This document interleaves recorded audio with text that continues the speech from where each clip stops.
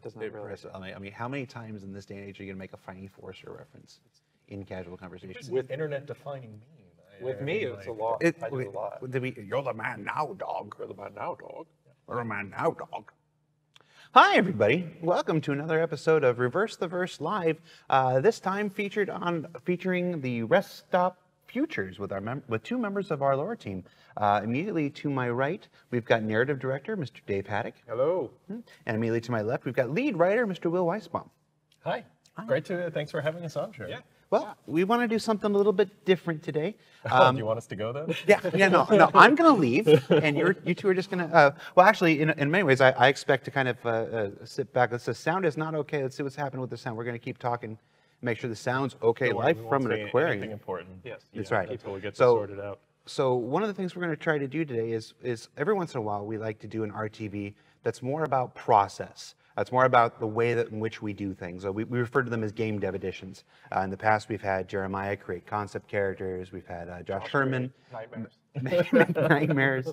Um, we, we, once we had uh, producers on creating uh, a, a roadmap schedule a live, classic, yes. and people were like, "You're going to have producers come on and make a, a schedule," and I'm like, "Yeah," and like nobody else would do that. I'm like, "I know," And it was, uh, and it was utterly compelling television. for the most part.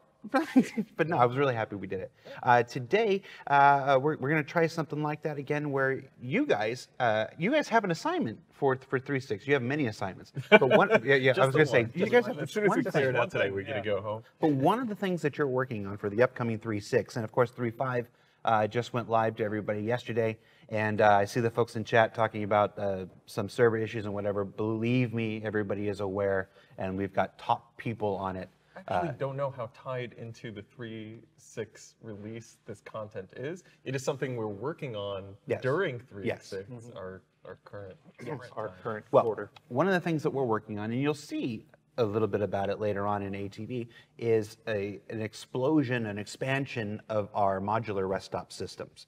Uh, obviously, we've, we've, we've got the, I don't, actually, I don't know how many are active, active in 3.5 now. Uh, There's a bunch. There's There- there- all, there's- all the Lagrange points. For, Right. Not all of them, but most of them have rest stops going, where you can go and hang out at the R and R's and uh, buy stuff, sell stuff. But uh, uh, we're planning to, to not only expand to even more, but uh, change their design and evolve their design, make, make more modular elements, uh, make them more visibly, uh, vi- visually unique. Uh, and stuff like that. I know Eddie Yeah. Hilditch is doing some great R and D right now uh, with with new shapes and and and uh, a new shape language for these things, so that they look more like space space stations. Uh, Yeah. Whatever space stations look like. Yeah, You know, kind everybody's of. got their own Yeah, ideas. messing up their their silhouette. Yeah, the art team and tech team have been doing some amazing things with the procedural generations of these space station. So while they're doing this, they often they have a request for you. And what is that request from you guys? Yeah, so we were meeting with them uh, it last week, and uh, basically the idea was that right now, as as Will said, we have the R and R rest and relax stops, uh, which are sort of our middle of the road franchise uh, type type deal. And uh, talking with Ian and Eddie and the design team and stuff, they were basically like, you know, we're looking for a couple more variations as far as like um, companies, brands type thing, just to kind of uh, add some variety and some flavor to uh, some of the different ones that they're coming up with. So, um, so yeah, yeah. Basically, we have to kind of brainstorm, and uh, we were kind of talking with them about what kind of parameters they had for us and stuff like that, which is usually part of the thing. Is usually that you know, uh, in one of these discussions, they'll say, "Hey, we need this thing," and then we go, "All right, cool. We can you know uh, try and work up some ideas." But are there any things that you can kind of rule out immediately that would you know help guide us to make sure that the stuff that we're we're generating like fulfills your guys' needs as well as what makes sense for the universe and, and stuff like that. So, um, so yeah. So basically, as we said, the the R and R's currently are, are kind of a middle of the road uh, type type uh, company. So you know, could we come up with sort of a higher end luxury version company uh, or station type, and uh, more of a lower end one? So uh, that's And that and that's usually the kind of approach we take is the high, middle, low. It gives us a good breadth, at least for a first pass of Yep. stuff, rather than coming up with like 50 different variants. We say what's what's the high end fancy version of something, what's the low end, you know, messed up version, what's the middle of the road, and that gets us a good breadth to start with. And then there's always room later on down the line to start filling in more of that flavor to add more companies. But at least to start, it's a great place to go. Um, so right off the bat, uh, are these truck stops or rest stops? Uh, uh, we, we- our, our own development team tends to use the, uh, the, truck the term inter, interchangeably. like Yeah, one- we, we're, we're trying to do a rebranding uh, internally to make sure to, to get people stop using truck stop because truck, obviously, it's not really what it is. I mean, space trucks, space truckers, but it's not Yeah. quite the term that's honed in on. In general, it's more of kind of these rest stops, especially for how people are using it and the breadth of people who go visit these locations in the universe. It isn't just for these long haul uh, space truckers per se. Everyone needs to stop at these things out there. It's how you refuel. It's how you, you know, if you're in a single seater, it's how you go to the bathroom. It's Yeah, stretch your legs walking around. It's hard because uh, doing weekly shows, convey, you know, covering development, uh, conveying the things that we're working on in ways that people understand. You you look for as many attachments to the modern day as you can. I think that's where truck stop came in. It's like, oh yeah, it's, Yeah. it's like a truck stop. It's I mean, Oh, some, totally. a lot of the, the references that we were using initially when talking about them was actually, it was um, uh, Iowa 80, which is a very big, I think it's actually might be one of the largest, if not the largest, like uh, truck stops in, on, I think it's actually Iowa 80 highway. Uh, But, um, and, and on the sort of New Jersey Turnpike on 95 on the East Coast, like those um, kind of standardized rest stops that you come across where it's like, you know, they have the KFC or the McDonald's and, and stuff like that. Uh, just to give you kind of two varieties that you could, that we drew from. Uh, so like those were the more kind of standardized, because they always kind of look the same, they just have different kind of amenities. Right. Uh, and then like there's have, one company out there selling designs for truck stops around the country. yeah, and they're populating them with, you know, uh, whatever restaurants and, and stuff like that. So yeah, those were sort of the original uh, kind of kickoff type thing. But yeah, hence why it was very common to just have them internally be known as truck stops. And then we're like, "They're not trucks." So one of the ways that you guys uh, work is through uh, shared documentation, uh, like uh, Google, like like uh, Google Docs, for instance. Um, I can already see if Jade, if we can bring that up on the screen for just a minute, I can already see that you've got a Google Doc uh, started here. Oh, yeah. Uh, Yeah. What are we? What, what, here, there's Michael Keaton. Didn't we have Michael Keaton the last time we did? Yeah, we always start any kind of writing Yeah. project we do by finding which Michael Keaton are we using as a touchstone for this. In this Yeah. case, it's Michael Keaton from Spider-Man: Homecoming uh, as the Like I didn't, re- I didn't remember that until I just saw that. And I'm like, and I'm like, literally, it's like the last time we did this was just like two, three years ago. I feel like that we had a lot of Michael Keaton photos, didn't we? Oh yeah. Yeah, it was a, it was a steady stream. I mean, it was a it was a dense topic, so we were we spent a lot of time trying to figure out what was the Michael Keaton inspiration. So that was sort of the thing. It's like, are we going clean and sober? Or are we going Mr. Mom? Like, I That's you a know. tough choice because I love Mr. Mom, but Clean and Sober got him an Academy Award nomination. Yeah, so it's it's tough. I mean, or you go with later stuff like Yeah. Out of Sight, which I don't know. So like if the vultures are in our R and R rest stop, we have to figure out you know who is our Jack Frost rest stop. Um, well, that's the low end. The Jack Frost would be the low end. Rest stop. so so we we have our initial notes that we kind of took down from meeting with the art team and kind of bullet points to keep in mind of when we're going forward. You know, so like we said, R and R is the middle of the road. We have to figure out kind of what is our higher end and lower end experiences. And then one of the limitations, like Dave was talking about, is that the base building blocks for the procedural generation are going to be relatively similar. So they told us to think more about it will be like a rebranding, color and stuff, but the base architecture of the space stations we shouldn't expect to wildly deviate, at least for now. For us to be able to build quickly in the next few quarters, they're going to keep us in check. So we couldn't per se come up with, oh, this rest stop is all glass.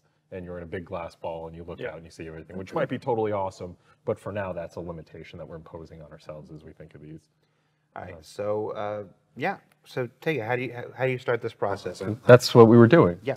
Let me keep going. Let me keep going. Glad you interrupted to tell us to keep doing what we're doing. Well, yeah, I mean, normally what we do is also is, is we basically just sit quietly and listen to Spotify work. So, which is what we're going to do for the next hour. So, All right. Cool. Sure. Um, but yeah, I mean, usually again, like we, we, we, going off of the kind of the parameters, the boundaries that, that we've been established is sort of talk high level, what's the sort of initial flavor? And, and, you know, we got some of the questions down here. What's the sort of experiential difference going to be between these? Why would someone choose to go to one brand over another? Uh, you know, uh, do our existing brands work for these, which is actually kind of an interesting thing too, because, you know, we have a lot of companies as it is, and it's sort of, it's easy to kind of go like, oh, we'll come up with something new. And, but at the same time, like, that's not necessarily the best way to go because it's like, as opposed to have, I mean, we have hundreds, if not a thousand companies like in creation at the moment. So like, why? The, the corporation matrix was It's a- impressive when I started here over four years ago. Yeah, and it's, it's- only grown. It's it's not a So, so it's kind of like when we first started talking about this experience in space, the big focus a few years Keep, keep talking. a few years ago, it was all about the fuel stations, about how were ships going to refuel in space. And so some of you might remember an old portfolio where we wrote up all these companies. We had CTR, we had uh, Fuel Pump, Cryastro, and Cryastro we had in game for a while, where you would go there, you would land and be able to refuel and repair. But then along the way, it started talking about, well, we want people to get out of their ships more. We want them to have more of experience, have this collection of these shops. And that's when we started developing R&R. We came up with all this branding for what these rest stops were going to be. But now we're wondering, all right, if independent, just solo kind of fuel stations aren't really as much as what design wants anymore, mm-hmm. or is that a good opportunity for us to kind of shift what those fuel stations were into what these rest stops might become?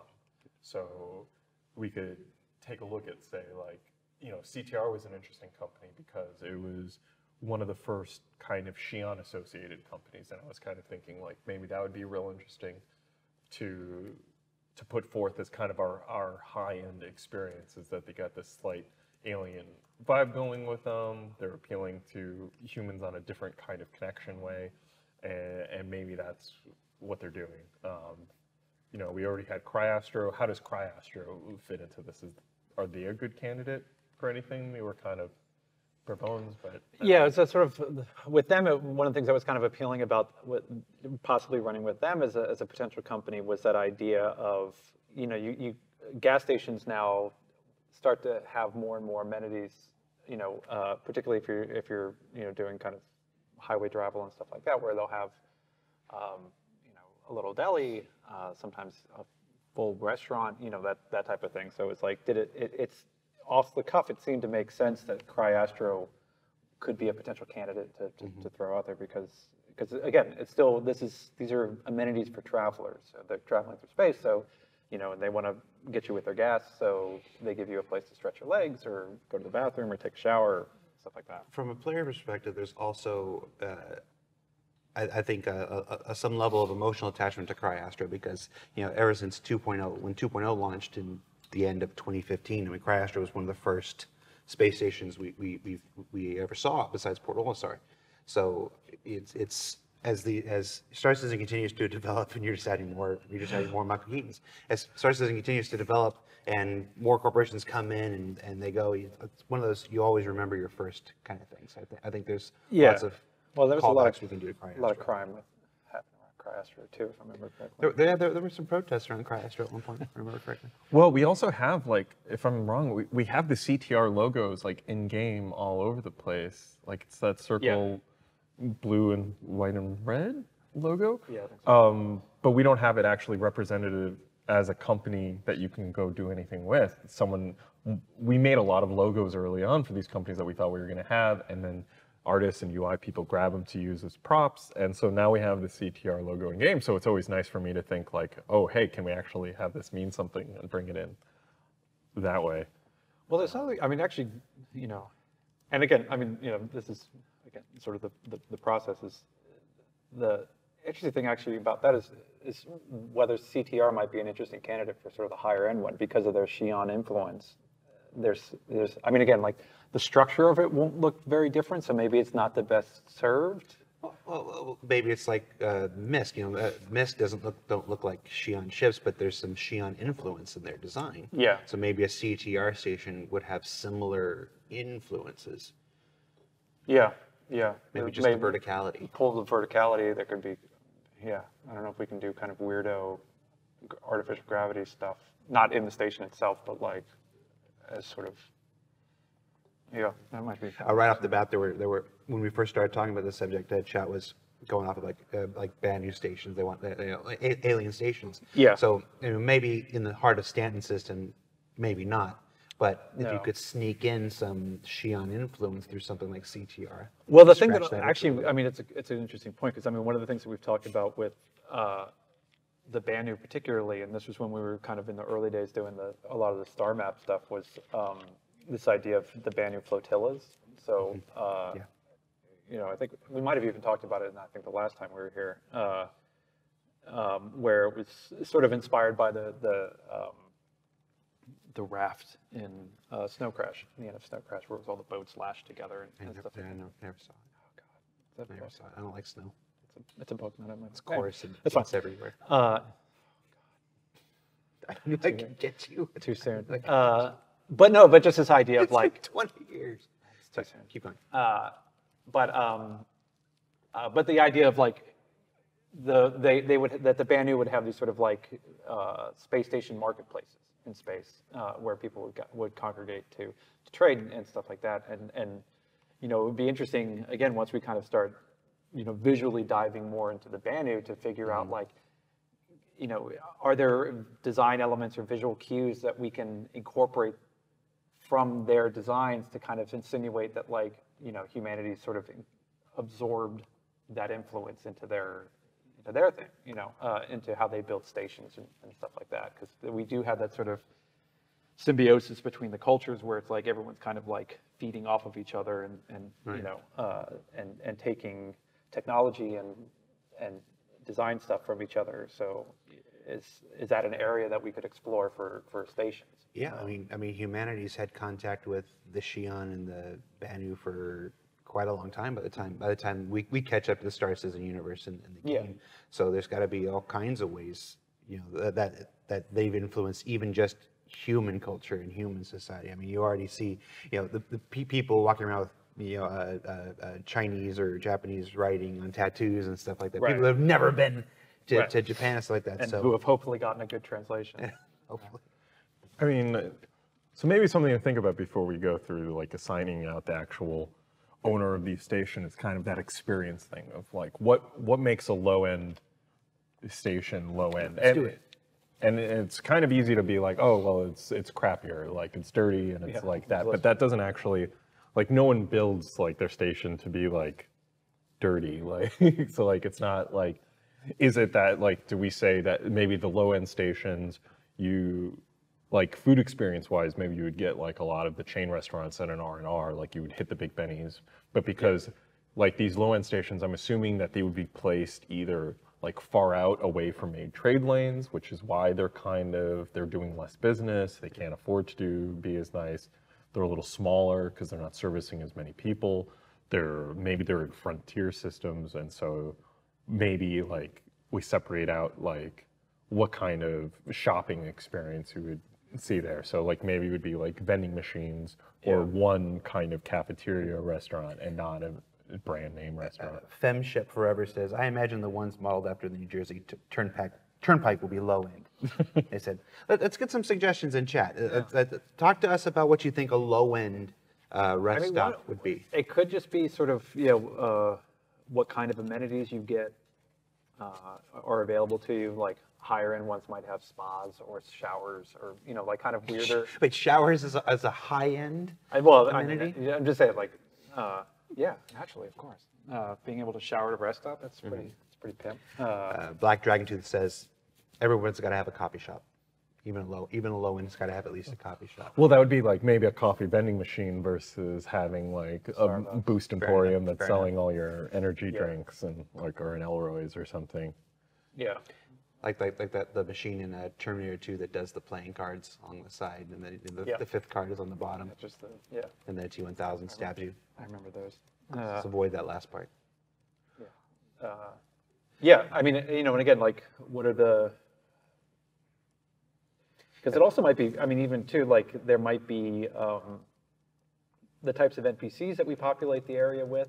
You know, uh, whether there's there's a little bit more like would you go to a low end one where there's more po- of a possibility of like you know picking up uh, shadier jobs uh, Uh, says uh, low-end ones would be would have fewer personnel, more automation. You know, just like the vending machine, more, Yeah. more you know, more more kiosks that do things instead of people because they can't because they can't afford to hire Yeah. staff and rotate out staff. Well, and it might even be that thing too, where it's like the, uh, if there's, there's uh, counters, store counters and stuff like that, that there's plexiglass between you and the person rather than, uh, and I mean, this, this is all kind of purely visual stuff that the art team would help Yeah. work out, but like those types of things immediately kind of seem like it's more fortified rather than, you know, that sort of, they, they're protecting against, uh, you know, people flinging bottles and stuff. For me, I, I think I think low end, like you you made a good point earlier, where you said it's not necessarily run down, it's not necessarily beat up. It has to do with I think as well. All right, good idea, Will. Uh, for me, it's it's not just run down and beat up. It, it's it's more about investment. You know, different companies will invest different amounts in in things like in all kinds of venues, uh, ventures, including rest stops. Like you could see something, see something like a like a higher company, like okay, we want to build the, the greatest rest stop in the world. You know, we're, really trying to innovate. You've mm-hmm. seen some of these rest stops in the world that look like Apple stores, you know, in, Right. in, in some ways. And then you see the, you know, the, the smaller companies, you know, lower end can be a smaller, more independent company that's just trying to get into the rest stop game. And Well- it's not about being run down. It's just they don't have enough, the money for a lot of the amenities and a lot of the features. I mean, or, or conversely, it could be a, a really major company that's just like, we're just going to spend as little money as possible to turn as much of a profit as possible. So it's like, you know, they, again, like, it, yeah, it's exactly. It's that thing where it's not necessarily, this is a dingy, dirty, run, you know, broken apart thing. It's just, it's cheap and uh, not, you know, not built with care because they're trying to. I keep, I keep going back to like Fuel Pump is one of the existing fuel stations we have, and like their whole thing was this kind of like retro tinge attitude already. Like they almost had, like, would you say like a 50s kind of That was a- the- vibe? like, but like the, the retro futuristic Yeah. version of it, which might be kind of interesting to. Like I don't know if it's too much of a double down to have like a retro theming on top of like kind of a rundown station, whether that just makes it feel old, or whether that ties into better, like hit that feeling that you want when you go in. Well, the thing I, I keep wondering though, when we talk about doing that, the retro thing, like, like from our perspective, it's you know it, it's the equivalent of like yeah, a 1950s themed gas station, but like, there's something I I uh, kind of always grapple with whether it's fun or just kind of too mind melty, of like a retro thing in This the is what the 30th century. 24th century was like for Exactly. these people. Like, we come up with a 20, this is a 27th century, a classic 27th Yeah. century gas station, and everyone goes, oh God, yeah, I remember the days, you know. Right. Uh, and but it's something that's very weird, still very weird and foreign to us. But uh, to we we set it up in the universe is like to them that's kitschy. Like we come up with our level of and that's and that's a little bit hard for us in the current art direction too because a lot of times we do Yeah. retro outdated tech as a sign of like older anyway so like to have retro tech makes the station feel older to begin with like if you look at some of our like lower end locations we have those kind of more CRT monitors which is a fun mm-hmm. kind of bringing back that retro sci-fi feel from the art direction of it mm-hmm. so it's a it's a tough pickle yeah, it's a weird. It's a so weird maybe that's not a good option for us. Maybe because it gets too muddled between what is theming and what is actual. Uh, yeah, and I think it's also the thing too of what you had said about uh, there's there's kind of a lot of art debt that would need to be done in order to sell it mm-hmm. correctly, which is all unique stuff. I mean, it's interesting. Like one of the things that I usually get asked about in in the Ask of Devs is it's like, you know, oh, wouldn't it be awesome to get like the antique ships? Like we've we've always talked about this sort of thing of like, you know, what are the the ships from the 25th century and like, Yeah, you I oh, know, I want the old beat up jalopy personally. yeah, I want the Zeus. I want all, you know, Yeah. and it's and it's like that would be totally sweet, but for our purposes, all of them are new ships. Whether it's a 25th century ship Right. or it's a, a 30th century ship, they're all, you know, uh, new things that require a whole bevy of tasks and uh, you know design and animation and art, blah blah blah. So it's it's it's still tough to do. We can come up with it. It's easy enough to just come up with it and drop it in a, a, a lore post, but like the, the realization of it becomes a different matter. So like coming up with the kitschy, you know, Bennigan's like art crap on the wall that throw is a throwback to a different era means a thousand new props that we don't necessarily have the bandwidth and Cor- Corbin Jones in the chat says, "I want to see a Big Benny's restaurant." Uh, hold on to your butts. uh, but uh, there, something that's that's popping to my head is like maybe the high-end experience is that rather than the R and R, which has all these kind of like brands that come and open up shops inside of it, so you get like the live fire or whatever opening up inside the R and R. Maybe the high-end one is all proprietary branding. Like when you go to like a really high-end department store, like Target will put a McDonald's or a Pizza Hut inside their shop, but a high-end department store has their own cafe and restaurant. That's their own branding. Oh, so whereas you get all this like weapon and clothing experience, let's say for argument it was CTR, when you go inside, there's no other brands. You have all this stop, and they just say like clothing in a fancy like scrolling font, and it's theirs, and they own the experience it's from sort top it's almost to like a duty free thing at the airport where it's Yeah, like- yeah. it's just it's a bunch of the products and made by the people that you know but it's not a center mass store. It's just it's a their section for ship weapons. Uh, some of the high-end malls, shopping malls in Southern California, Fashion Island, down in uh, South Coast, and uh, even the the Century City one up here, they're both open air. They're both open air. They don't they don't have we can't do that in space well no open air, but but but glass domes. But but, Right. but, but glass domes. E- Even the even the uh, even the fancy some of the fancy hotels in Vegas, like the Venetian and the Paris, Right, right. have those sections where they fake an outdoor thing in, in the in the ceiling. yes I mean, that, that's a good point. That maybe something that high-end stations would have is a lot more non-critical areas. Like we've talked about in the uh, procedural generation, the idea of like viewing windows, and so maybe we talk to Art saying that the high-end stations have a lot more, more viewing windows, a lot more stuff that is just kind of seating areas around. Whereas, yeah, the low end, it's all like every single inch of that should be dedicated to profit generation or, or money or something like that kind of. yeah yeah like that. So let's, let's, let's see what you've got here. JJ, let's, there you go. See, I didn't even have to ask. Thank you, JJ. So what kind of shops would you expect in each? So low end, so Will's been making notes here. You- We're working here. This isn't Yeah. just for fun.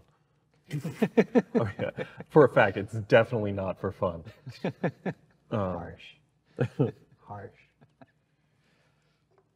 So what kind of shops would you expect? Less brand name restaurants, maybe a focus on vending machines, more automated services. So we're saying more more name branded shops in the low end, what separates the R and R like shopping experience from the low end shopping experience? Is it just the variety that you'd get in like an R and R? Is it is it that like you're more likely to find like that low ends are just like a convenience shop and a weapons store? Is it like that all for I- one yeah, shop? To or me, it feels like that one of those things where, yeah, it would be like there would be fewer. Again, sort of what you're saying, like they would space is at a premium, so they would jam as much in as possible to. They would jam enough in to lure people inside to try and get them to buy stuff, but not so much that they had to maintain a high kind of overage in order to keep their station open. So it's like, you know, like one of the things I was thinking is like they, it's mostly fewer live people we were talking about earlier. So mostly terminal interactions. We're not dealing with, you know, even if it's like a Big Benny's where it's like, you know, it's it's uh, kind of what we had. See, see if we can even maybe even use that setup from like the the, the mess hall. Like the you push in a, a Right. thing and then a you know it poops out your your Big Benny's noodles. That's Uh, the absolute wrong word to use for a food service. I've, I've never worked in the food. service. well, I have.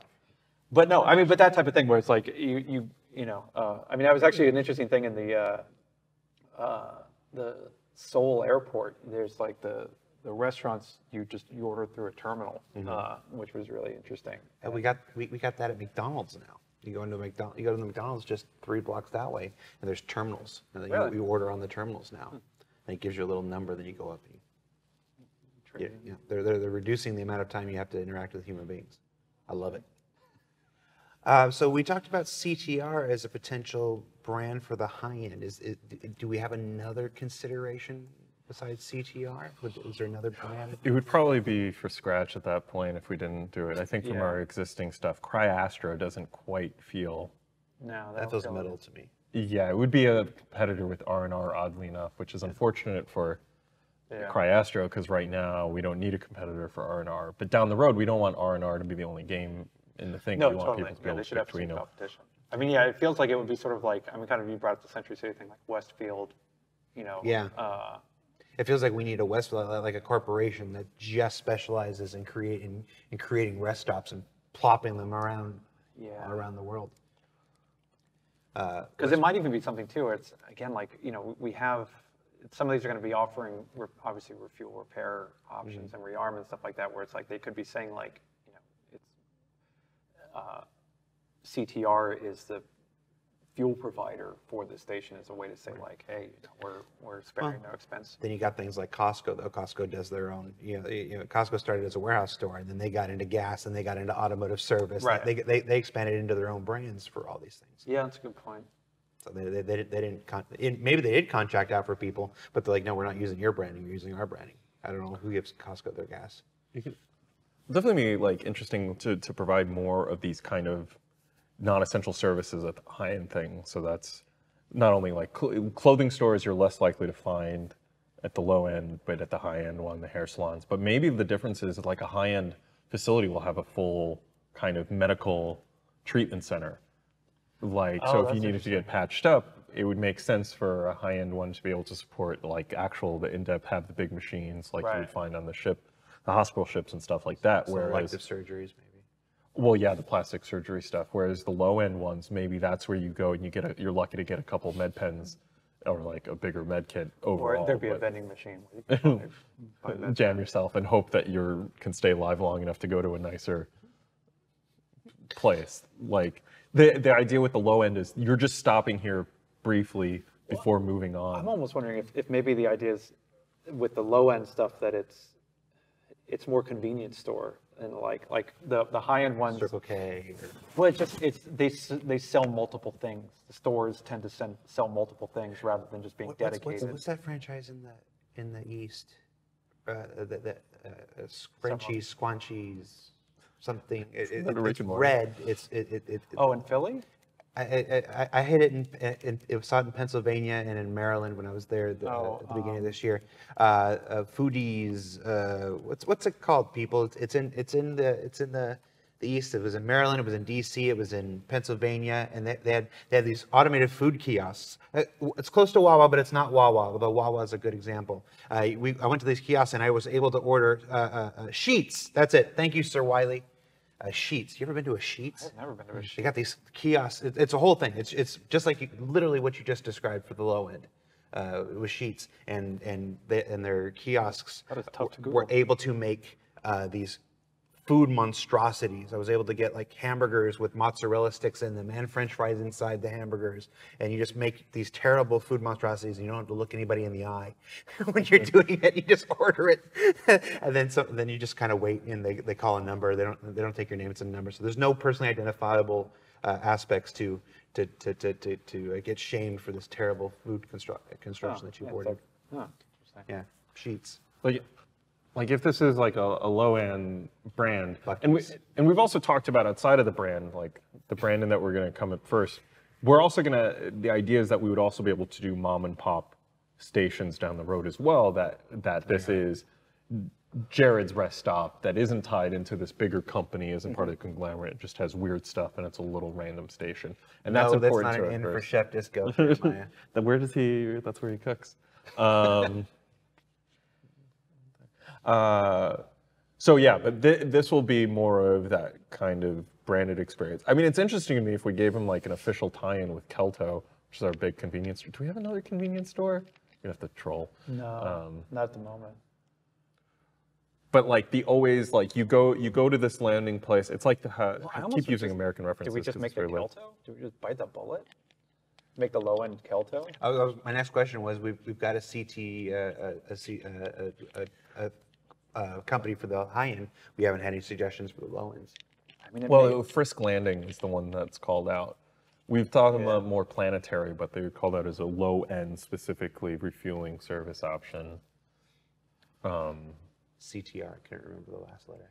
Uh, But I mean, I just wonder, it's like, if it, if it just becomes, if it just becomes Kelto, A, we, we start to establish, because we haven't established them, we talk about them, we've been talking about them ever since Kid Crimson, I think was the first drop of it. and we do like the idea of the convenience store. We're trying to introduce in some of our planetary locations as well. By the way, I'm going to give a plug for the Kid Crimson uh, uh, uh, storyline. It's one of the one of the earliest lore stories that was released on the RobertsSpaceIndustries.com website. It goes back to like 2012, early 2013. If you haven't checked it out, you should, because it's one of the things that got me into this project. So check out the Kid Crimson stuff.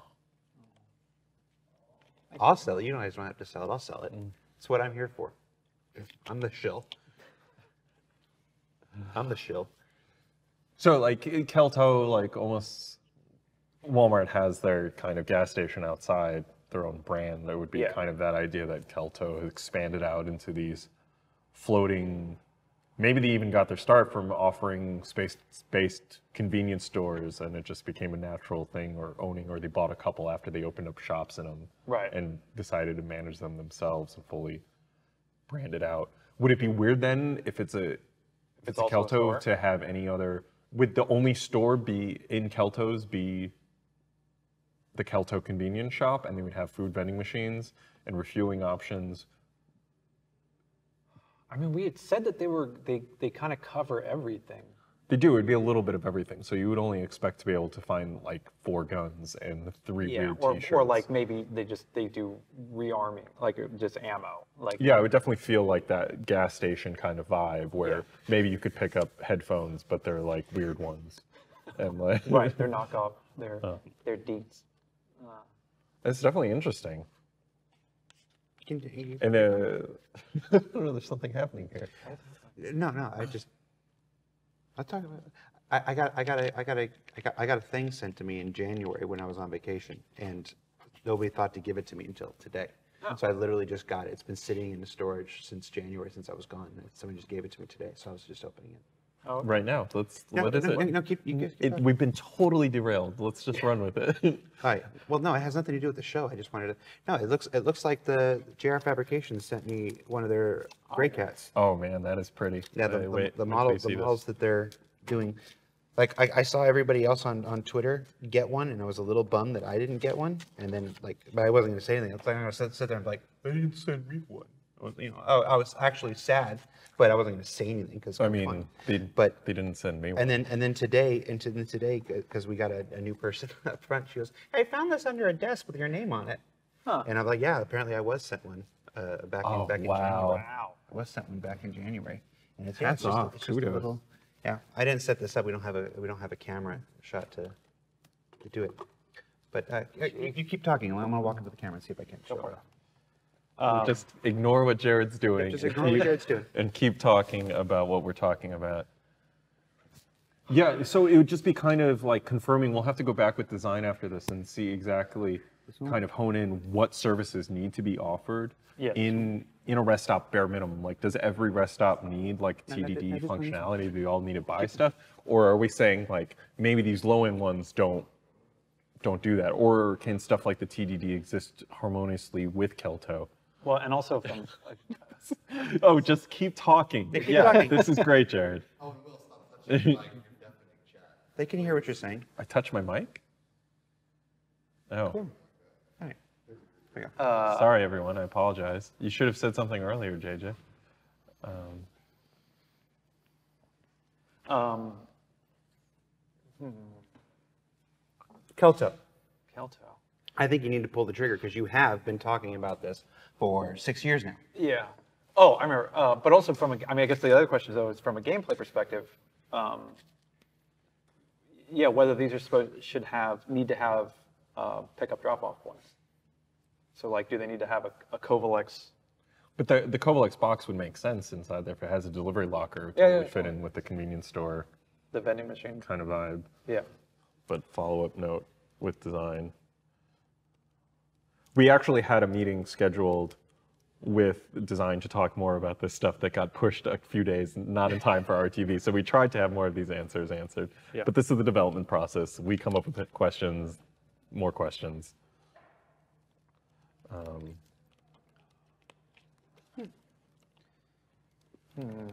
And Kelto is E K-E-L-T-O. TO with their hydrofraws. What- Yeah, is which that is- short for something, Kelto? I don't remember. No, I think it just sounded okay. Okay.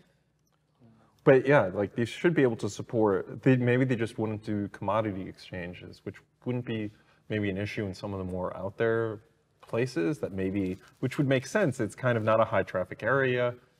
Like who's on? You might have to put in the extra work to lug your stuff to uh, a more populated area to unload your commodities. Like if you've just been mining nearby. But conversely, I don't, I don't even know if like, because you can't do commodity trading at the R and R. you can sell stuff at R and R. You know, you can sell drugs now in R and R. We have to follow up and confirm. Right. But they, like R and R doesn't have TDDs right now, and I don't think they're going to get it. Yeah. So yeah, we should. Just find out the economies of it. Yeah. No, he's typing too. What about the idea, uh, someone was talking, uh, people, chat's been asking about things like Idrises and Javelins and stuff, uh, and stuff docking at some of these. Would the, you know, obviously those, those are civilian commer- uh, uh, commissioned versions of those ships, but where would military ships, is, is there, are there, are there military rest stops? Are, are, are there, like, like Air Force bases, I guess, like? Yeah. Yeah, are there there are military I would assume there would be stations. military stations that like. That's they run the security operations for the system or something. There'll be a naval base. Yeah, we, we've talked about them mostly in, in connection with uh, fair chance systems. Uh, so you'll see if you go on the Right, star map, like right. OB Station Chimera, I think is one, and stuff like that. But, um, but yeah, I would assume that there would just be like naval. I think probably- Sol had some naval bases called out already.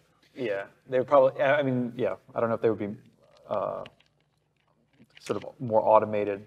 Whether they would have like auto, you know, automated kind of just fuel dumps that you that their ships would. But this would tie into like kind of the reputation system stuff that we've been talking about now, where eventually you would do enough missions to earn a reputation as like a Navy contractor to be able to dock and refuel at these places. I wouldn't expect just because you own an Idris that they would be like, yeah, park up. Exactly, no, not a and- military yeah. station, absolutely not. Yeah, yeah. Uh, That's, uh, makes me think of a good question about the Stanton system itself. You know, the Stanton system itself is kind of unique amongst most of the star systems in Star Citizen because these planets are individually owned by corporations. Does the system, w- uh, uh, the- as a star system, with four supergiants that are all owned by individual corporations and all run their own individual security, is the Stanton system still policed by the UEE? I mean, Yes. is, is it, Yes. it's still considered a It's, it's still a UE system. Um, and It's- so, yeah, they, they, they, they're kind of militarily responsible for the space in between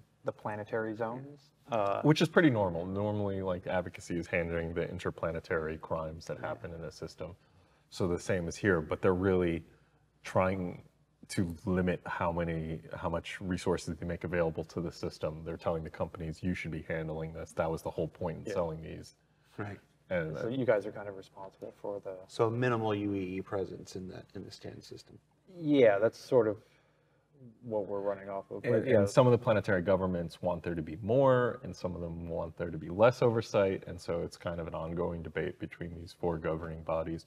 And some of our recent kind of, we just had a, uh, now, yeah, Congress now that was doing like a Senate talk to um, kind of uh, the head of Crusader talking about their crime stats and how they're doing governing. And so. Yeah. Congress Now and other lore series available on the robertspaceindustriescom website that you should probably be checking out. Which is weirdly popular, just like Also, Star call your mother. yeah, make sure to read last week's Star Watch for all the latest info on celebrities in, in Star Citizen. It's such a, it's such a positive feature. I know people keep, keep clamoring for more, so. So Kelto is kind of our top contender, which would be interesting if we went with like so they would be this heavily branded mono store, and in some way like we could do it where the high end was almost the same thing if we went with that they didn't have their own like franchises inside themselves that they just everything was them branded as well, but it would just be the breadth of options would kind of out. Yeah, we could, I mean, we should check, that, that might be a good thing to talking point to, to go over whether they want to do that sort of unilateral thing. Because I could also see it going the other way where it's that, you know, because we're, you know, Starfields, we are allowing, you know, we have partnered with, you know, these luxury brands to mm-hmm. validate us. So it becomes that thing where it's like, because it, it's kind of currency. It's like coming to our mall because we have an Apple store, and everyone goes, "Ooh, they have an Apple store. This place is really swank." But the oh, Oh, go ahead. Uh, but that might be the difference. I'm wondering if they would have like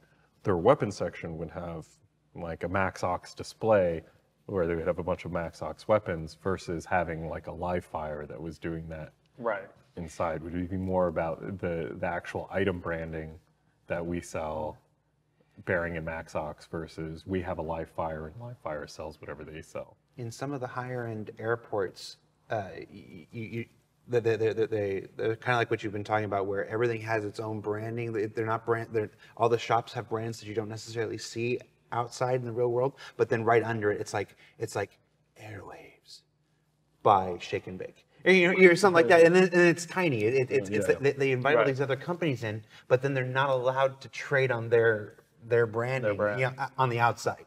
So it's it's a whole different presentation. It's the way like a I've seen McDonald's or KFCs or whatever in airports that don't look like any McDonald's or KFC you see anywhere else. Right. They're they're individual installations of those things, and it's like yeah, operated by McDonald's. It's it's Right. it's Burger Town. I mean, that would be by something that we could do where we could talk to Art about this. That would really maybe help set it apart. Is we limit how much of the aggressive advertising that we do inside this rest stop. Like all the other rest Oh, stops, you see billboards and posters and logos and neon signs everywhere.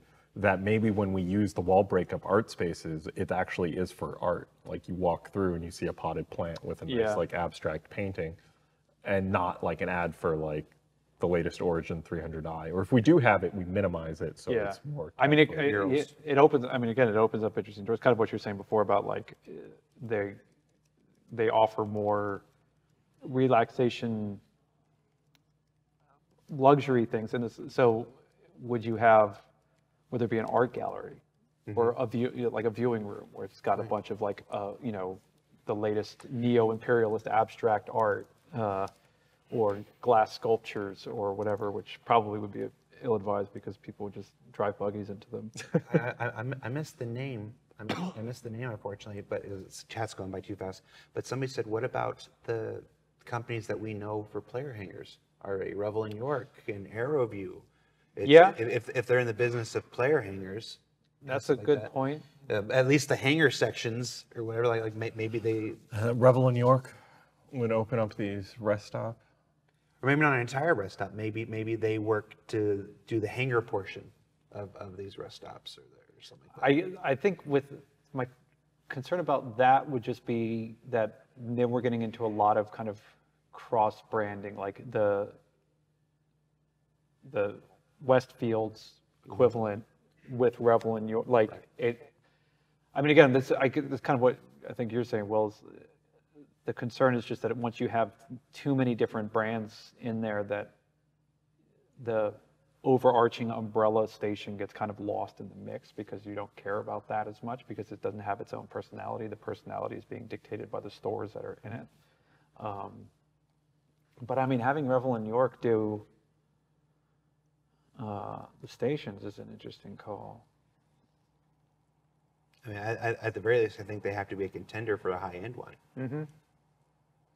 I mean, I- it, it, in hindsight, it seems kind of obvious. We, we already had our, our player hangers broken into three tiers. Yeah. You know, with Selfland is the lower end and AeroView is the middle. I think part of it would just be making sure, and this would be part of the conversation with Art, would be making sure that, because Revel and York do have an established aesthetic, uh, and would be making sure that whatever they're building for this would factor into it. Well, they haven't. They, they've built one. We've seen their established aesthetic for one kind of player here. It's it's True, but least- it's, if, it's just that thing of like, because they do the sort of um, almost plastic uh, white with the brown wood and, and stuff like that, which is a very distinct uh, look. So it's, it'd be sort of a question of like, whether that is a through, could be, be maintained as a through line, or if we could just, it's just a thing of, uh, ah, different, different Keaton, I think. Uh, What is that from? What- Oh, that's uh, Michael Keaton as Dogberry. Ah, from Much Ado About Nothing. Oh, That is right. correct. That was to me the Michael Keaton that best represented Revel and York, but maybe I'm wrong about that. I'll keep Yeah. Uh, you're definitely wrong about that. That might be the Selfland Michael Keaton. But uh, Um, it's But yeah, just a, just a question of like if, because yeah, again, it's it's an interesting thing, and it- kind of going back to what we were talking about in the very beginning of this, that idea of like uh, tying it into stuff that the community already knows about and is attachment to and an emotional reaction to. Because if we drop like, hey, it's a Revel and York station, you know, people who are playing immediately get like, oh, cool, it's going to be a much nicer, higher end thing. Like we, a lot of our work is kind of done, you know. I, I mean, the, yeah, this was one of the conversations we had with our when we started doing these kind of stations. Is like, oh, who who's building the station? Mm-hmm. Like outside of Rest R and R owning the station, they're like, what company manufactures? Like, what construction company did they hire to come out and haul this out? And it was starting to get like a weird level of branding that we didn't quite. People didn't need to know who who constructed the station. We're like, it's Yeah. just R and R, and like that, that's where we cut off the thing. One of those things, and this is probably way too early for this, but one of those things that you would find in a living, breathing universe with history is the thing where the station was made by one company, and then they got out of the space station business in that sector and they sold it to another company.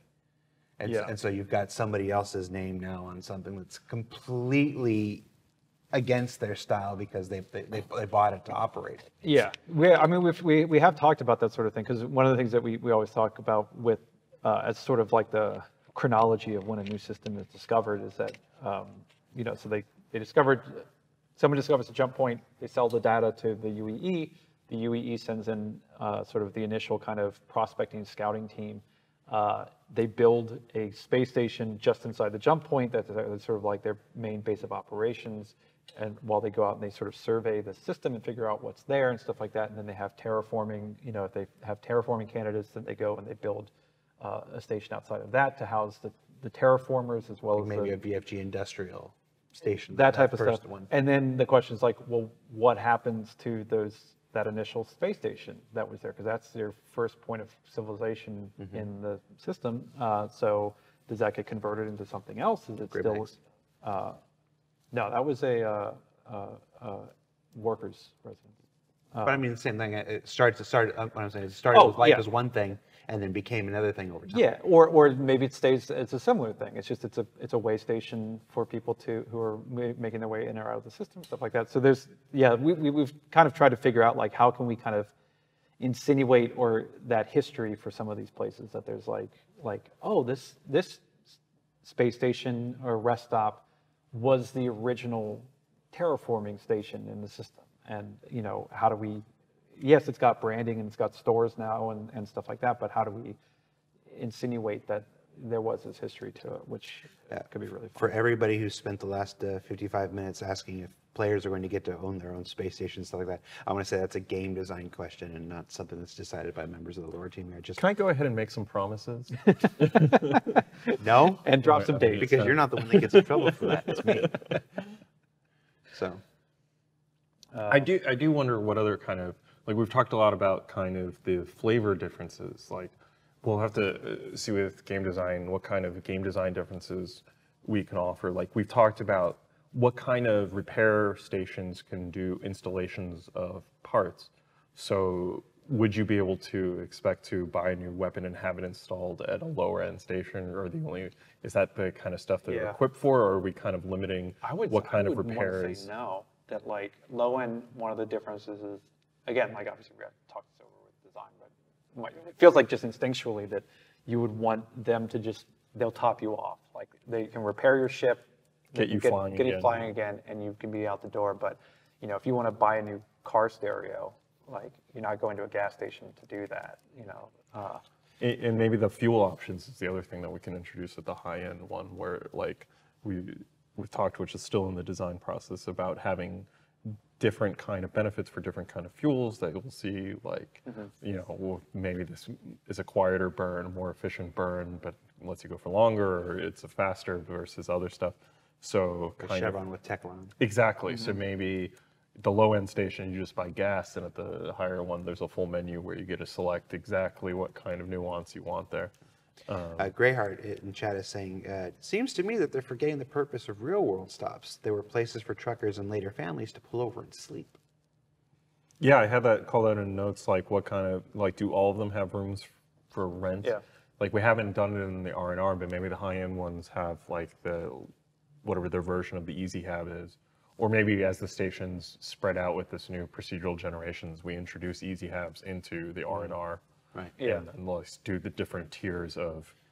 Yeah, again, it feels like the, the, the lower end ones probably wouldn't have that type of thing. Or they'd have the, uh, the, like the, the, the, the, the sleep cubicles that they have in. Japan. The You know, we just t- take it, take the one out of the old 300i Right. and just, just put a rack of them. Yeah, I mean, again, like there, there was a, uh, the, the Seoul airport uh, was really interesting because they had a hotel inside the terminal uh, that you could rent for like five hours or four They hours. they're, they're converting an old terminal in uh, New York right now into a, into a hotel. Oh, really? In- Into a, like a, an hour, not hourly, but a short-term stay hotel right now. It's all got, it's all got, it's the old TWA terminal that they're converting. LaGuardia or JFK? I think it's in JFK, but I'm not sure. But but one of the old TWA terminals is being converted into a retro-themed hotel for people that have, have layovers to stay over there and stuff. Yeah, it's interesting because I, I like I, I had a five six hour layover and I was severely contemplating like just because you could put your bag down, you don't have to like walk around and stuff. Like uh, it was really interesting. And yeah, the rooms are I mean they're very bare bones, but you know you don't need much. It's like a bathroom, a shower, and a bed and a TV. Yeah. So we are actually out of time. What already? Already. Wow. So um, let's go ahead and take a look at the doc. Let's let's see let's see where we're at right now. Obviously, this is a process that takes longer than just an hour. Yes. As we uh, as we demonstrated, but let's let, let's let's go through and let's see what we got. I you, mean, you, can, you can actually follow along with the with the page there. So Jeremiah, go ahead or Jeremiah, Jeez, JJ. Wow. Wow. I didn't mean to insult you that way. Everyone knows JJ stands for Jeremiah James. It's too many J names in this company. So so let's see. Let's scroll up a little bit. Jeremiah, Let's see. So so what kinds of shops would you expect in each? So we got so for low end, less brand name restaurants, if maybe a focus on vending machines, more automated services, uh, more name brand stores, fewer live people, more terminals or automation. Uh, stores tend to sell multiple types of things, you know, and then of course the re- realization that we've had Kelto sitting there for years, and maybe this is maybe this is where we finally pull the trigger on that. And then, of course, you have follow-up notes for design. You, we got we got we got to follow up with them and get their requirements. Like, what are they, what are they envisioning happens in a low-end station? Because you know the tail doesn't always wag the dog here.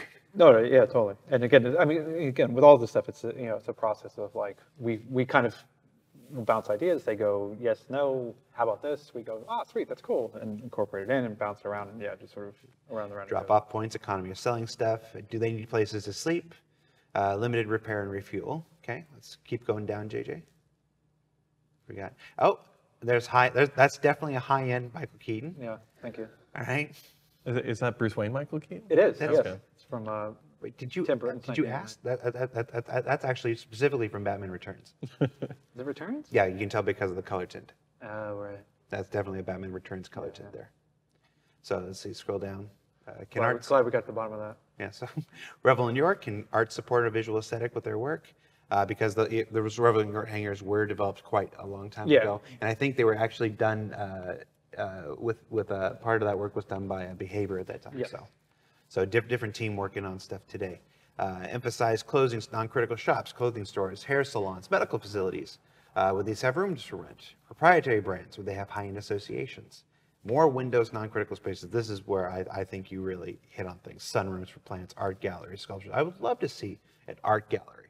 And we have we have so much we have so much concept art for all these different systems and whatever. It would be great to you know they have a place inside the game as Yeah. as uh, visual represent artistic representations of real world you know, or real universe star systems and stuff. Yeah, and building that as a module so that like we could put it into the generation system would be pretty neat. So that Yeah. maybe it has like this music space with a water fountain, and sometimes you end up with an art gallery and stuff like that. How do you handle advert- advertising in a high-end station? We don't want it to look like that uh, truck stop from from Spaceballs.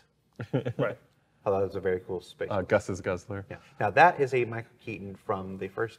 I actually, he was wearing the same turtleneck, so it's probably also from, from Batman Returns. But Yes, I think that's the scene where he uh, is remembering Napier shot his, like when Vicki Vale's about to come out. Well, that would be from the first movie. Yeah, So was he wearing the turtleneck in both movies? I think it was. All right. So anything else you want to you want to leave people with before we take off? No, we'll, we'll definitely update like in game, hopefully, with what we come up with. Thank you so much for being with us as we did this thought exercise I and hope come it through was it. I hope, it was, enjoyable. yeah, I hope it was entertaining to hear us go. Uh, we'll have we'll have a segment uh, later on in the quarter uh, about the act, about the visual representation of what they're working on here with our own Eddie Hilditch. Uh, working, he's, he's working on that right now, and we're waiting for him to get a little further down the line before we uh, before we showcase it. It's pretty awesome stuff. Yeah, yeah. Cool. So yeah, thanks for tuning in, guys. It's been another episode of Reverse the Verse. Thank you again, as always, to Dave and Will for coming on the show and helping me fill an hour each. and Our every pleasure. week. Thanks so I, much. I, I, I, I, I love these. You know, it, it's the, it, these things that get to show process, you know, raw like this is some of my favorites, and I hope the folks who watch think so too. So. Uh, yeah, and then uh, we'll see you again next week. Uh, we've uh, next week we've got uh, uh, um, uh, gameplay mission designer Luke Presley, who's and we're actually going to go through the Pacheco mission uh, with, with- Ah. with, with kind of director's commentary from, from as Luke Presley, and uh, I think one more they're going to take us through and tell us how they developed that they and, created and stuff like that. So it's cool. We- It's another type of thing we've, we've never done before, so we're going to give that a try next weekend. So Oh, awesome. Good stuff. see you then. Michael Keaton, if you're watching, let us know. Yeah, let us know, Mike. Thank you for watching. So if you want to keep up with the latest and greatest in Star Citizen and Squadron 42's development, please follow us on our social media channels. See you soon.